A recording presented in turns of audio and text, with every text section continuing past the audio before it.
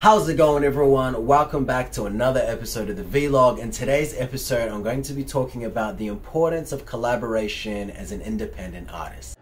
Yeah, welcome to the vlog, to the vlog, welcome to the vlog, motherfucker. Welcome to the vlog, to the vlog. I hope you enjoy your stay. Working with other independent artists has three main benefits. Number one, you get to experience what it's like to create a song with someone else. Number two, you get access to a whole new audience. And number three, it's a hell of a lot of fun. The first one is really important. You need to practice networking, communicating, and working with other artists from now.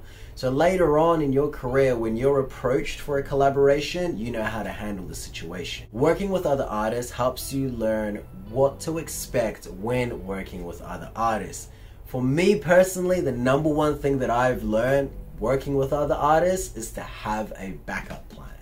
The second point is pretty self-explanatory. When you make music with another artist, you get exposed to their audience too, usually through social media and I guess through the algorithm as well. It's important to make sure that the person you're collaborating with also promotes the song as well. This way, their audience knows that you've got a new song out and so does your audience. When you have these new fans appearing after a new collaboration, make sure to commemorate them and let them know that you appreciate their follow. Lastly, as I said, it's really fun. It's really awesome seeing how other artists' brains work when, you know, uh, faced with a creative challenge or a creative process.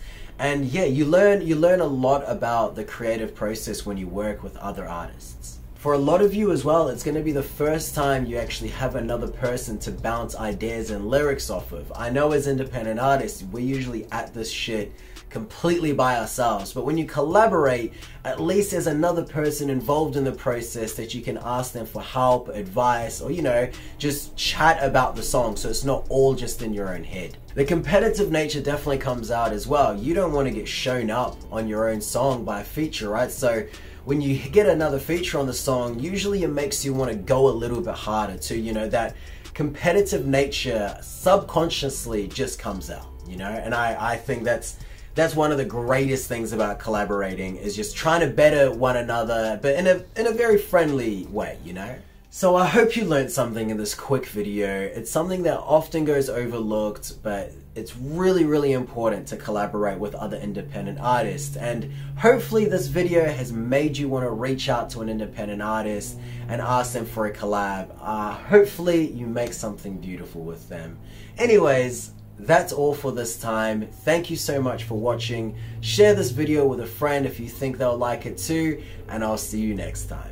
Peace out. It's a trip, I'm a blip on the map. It's so big where we live. Got a chip, bust a pig, then I dip like a fish. Make a wish, light is dim, can't come in where we sin, where we smoke till trees are thin.